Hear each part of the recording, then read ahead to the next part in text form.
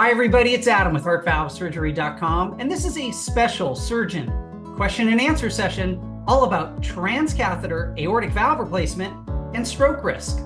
I am thrilled to be joined by Dr. Kendra Grubb, who is the surgical director of the Emory Structural Heart and Valve Center at Emory Healthcare in Atlanta, Georgia. During her extraordinary career, Dr. Grubb has performed over a thousand cardiac surgeries and more than a thousand TAVRs. Dr. Grubb, it is great to see you again, and thanks so much for being with me today. Thank you. Dr. Grubb, we've been having an ongoing conversation at heartvalvesurgery.com about stroke risk and TAVR. I'm real curious. You do a lot of TAVR. I think you're going to do three TAVR procedures today. Can you give our community an update about the stroke rate for patients undergoing TAVR? Sure. The stroke rate has been pretty stable for a number of years. Uh, initially, there was a higher stroke rate with TAVR than with surgery, but that's not true anymore.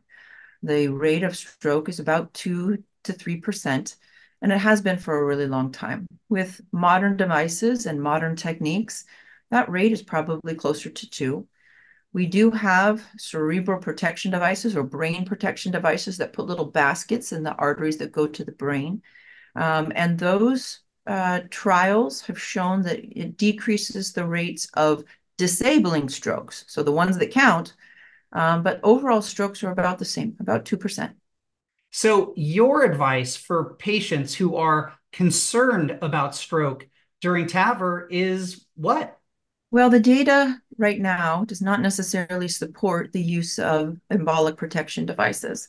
There are newer devices in trial that may show a bigger difference. And even the device that's commercially available, the Sentinel cerebral protection device, there is some data to say that it's worth doing. So my advice to patients is have the conversation with your doctor, understand the data, understand if you think that this is something that will benefit you. Your doctor will look at your CT scan and they will be able to tell you if they think that you're higher risk for having a stroke.